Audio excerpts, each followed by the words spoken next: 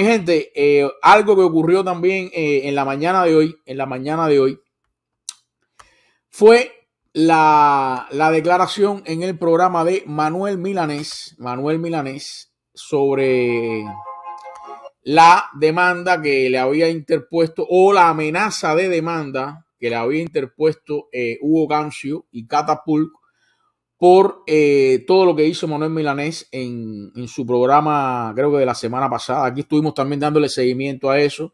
Estuvimos reportando eh, lo, que, lo, que, había dicho Manuel Milanés en su programa de YouTube y, y todo lo que originó eh, a partir de ese momento la, la, las falsas acusaciones de, de, este, de este señor Manuel Milanés. Y hoy, en la mañana de hoy, pues, eh, Manuel Milanés eh, abrió, creo que su programa, eh, diciendo esto que les voy a mostrar ahora para que lo veamos completo. Y después, bueno, venimos con ustedes nuevamente. Vamos a, a compartirlo.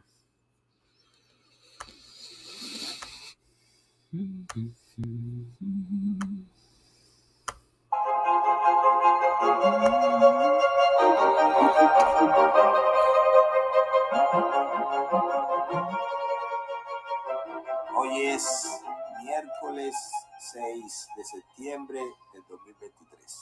Como les dije ayer, hoy vamos a hacer este programa especial respondiendo a esta nota de prensa de Catapult que habla de una supuesta acción legal en mi contra por algo que se dijo en esta plataforma. Así que después de saludarlo y darle las gracias por estar ahí y por todo el apoyo que he recibido de tanta gente, del liderazgo, del exilio histórico, los seguidores, tanta gente preocupada por esta situación, pues vamos a hacer, como yo les dije, yo eh, ante cualquier situación de, que pueda tener un matiz legal, lo correcto y que te invito a ti que lo hagas también, y acercarme a mis abogados, en este caso al doctor Alián Manuel Pérez, dueño de este, de este despacho de abogados, Legal Armor, y con él hemos visto todo lo que ha pasado, porque ayer, martes, sí ya fui finalmente notificado eh, en mi casa de esta primera comunicación, que se le dice así, cease and desist, o sea, que te notifican que, cuál es, por qué se sienten agraviados y qué es lo piden y qué es lo que piden que hagan. Bueno, pues vamos a describir qué fue lo que pasó y vamos a dar nuestra respuesta aquí públicamente, como mismo se hizo públicamente en el programa, en el mismo horario, estamos en la misma hora, en la misma frecuencia, en el mismo canal. Vamos a describir qué pasó y cuál es nuestra postura sobre lo que pasó.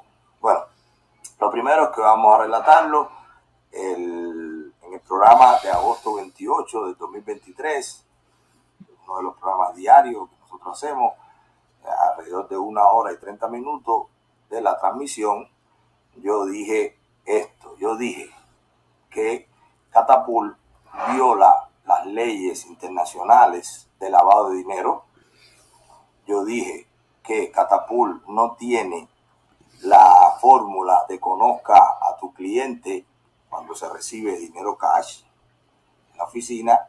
Yo dije que Catapult patrocina el terrorismo y yo dije ese mismo día, en esos minutos, que Catapult está por encima de la ley. Lo primero, que es lo que lleva, como siempre le he dicho, si tanto que yo peleo por apegarnos a la ley, por el imperio de la ley, por la igualdad ante la ley, es que hay que reconocer públicamente que esto fue un exceso. Fue un exceso por mi parte. Yo me retracto de estas palabras y eh, aunque ustedes saben lo que se siente cuando uno toca temas tan sensibles como la libertad de Cuba y cuando toca también eh, los nexos que pueda tener cualquier persona con la dictadura, pues después de la conversación que tuve por teléfono con la funcionaria de Catapult que me, eh, que me comentó sobre cómo era el proceso, pues yo me excedí. Saqué estas conclusiones. Eso yo no tengo ninguna base para pragmáticamente haber dicho eso, así que yo me retracto y lo quiero decir y dejarlo en público para cualquiera que se pudo sentir agraviado. Ni lo hice de mala fe, ni lo hice con malicia, ni lo hice para causarle ningún daño a nadie. Sencillamente yo abro mi plataforma, comienzo a dar mis opiniones, saco mis conclusiones sobre lo que está pasando y luego de colgar el teléfono con esta funcionaria que me explicó que se recibía una parte del dinero en efectivo en sus oficinas, pues yo basado en mi opinión, en mi criterio, pues dije estas cosas. Nada de malicia, nada de mala fe, todo lo contrario, emoción, sentimiento, porque lo que pasa en Cuba y lo que pasa con Cuba, además con la libertad de Cuba y con la tiranía que hay en Cuba, pues a uno ocasiones te puede hacer cometer estos excesos. Lo que sí yo puedo decir es esto, que es mi opinión. Ahora, ¿en qué se pudo haber basado ese exceso? Nadie puede negar que Cuba, la tiranía cubana, está en la lista de países patrocinadores del terrorismo. Lista que se confecciona en este país, en los Estados Unidos, y que tiene sanciones precisamente, entre otras cosas, por eso, por sus vínculos con el narcotráfico, con el lado activo, con la protección a terroristas y patrocinio a terroristas. Pero ¿en qué me pudo haber pasado? Bueno, pues ni la ley de inversión extranjera del 29 de marzo de 2014.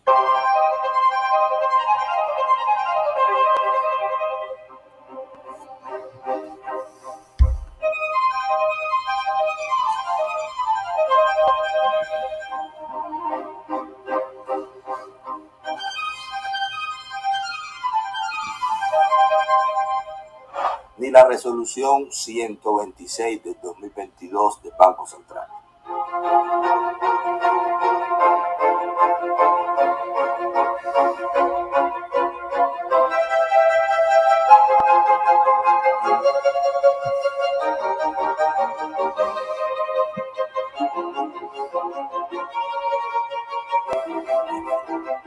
Ni la resolución 127 del 2022 del Banco Central.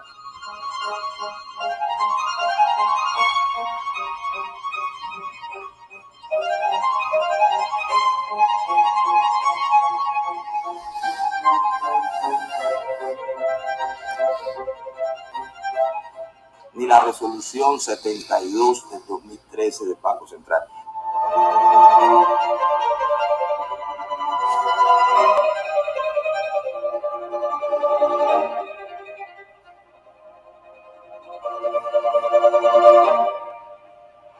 Resolución 113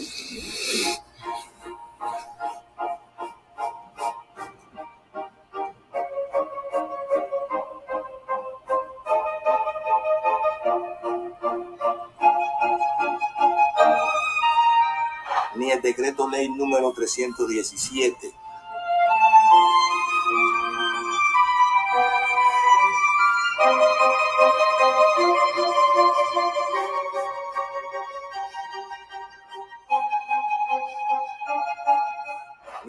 resolución 124 de 2020 del Banco Central.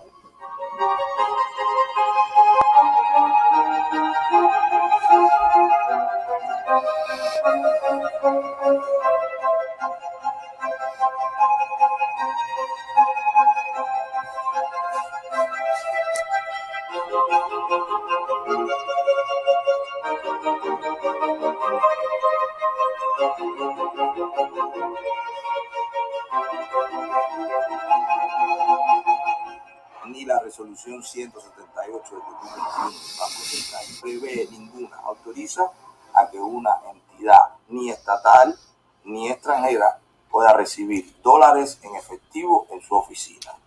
Así que, si bien reconozco que fue un exceso, digo por qué, cuál es la motivación de mi exceso, me retracto, pero de lo que sí no queda ninguna duda, y con esto quiero cerrar, yo sí puedo decir que Catapult es una compañía que está haciendo negocios con una tiranía que reprime, que viola los derechos humanos y que está en la lista de patrocinadores del terrorismo.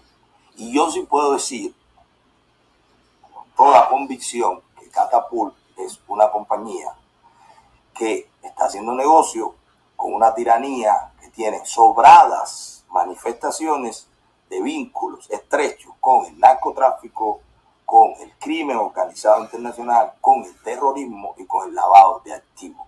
Y yo sí puedo decir que en Catapult, haciendo negocios con esa tiranía, le falta a la moral del empresario.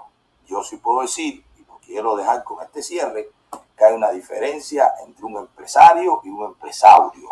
Un empresario es quien se levanta por la mañana buscando cómo hacer bien al prójimo, cómo dar un buen servicio, cómo respetar la ley y cómo respetar la libre competencia el libre mercado. Un empresario es quien se levanta por la mañana viendo cómo recibe una licencia que el resto de los cubanos es muy difícil recibir. ¿Quién en Cuba le dan un permiso siendo cubano, siendo nacional cubano, para tener el permiso para importar carros en Cuba? Bueno, pues esa es mi opinión, yo la mantengo y con esto cierro. Los invito a ustedes a que hagan lo mismo.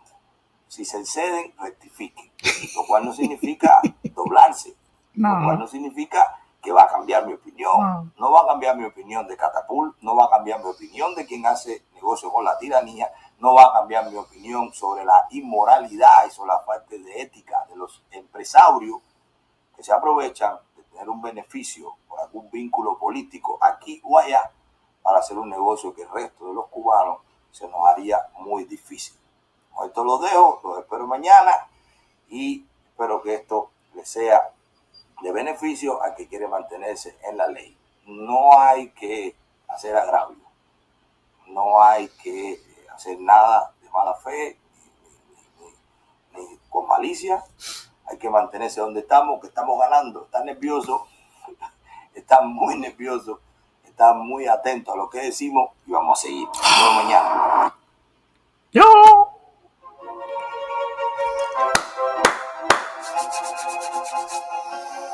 Ay, Dios mío. Ay, Dios mío, caballero. Ay, Dios mío, Dios mío, Dios mío. Oye, Vivaldi, Vivaldi. Esos violines que ustedes escuchaban de fondo.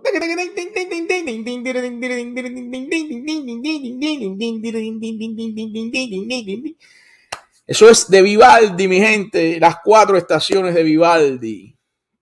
Esta creo que es el invierno, el invierno de las cuatro estaciones de Vivaldi. Qué bien, qué bien le viene el tema de, este del invierno de, de Vivaldi a este mamarracho que se hace llamar Manuel Milanés.